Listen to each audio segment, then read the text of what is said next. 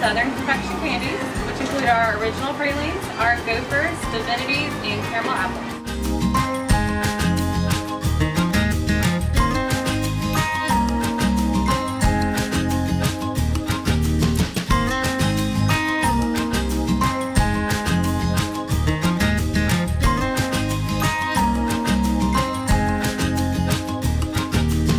We started here in Savannah, Georgia in 1991, and we began our journey into the Southern confection candy business.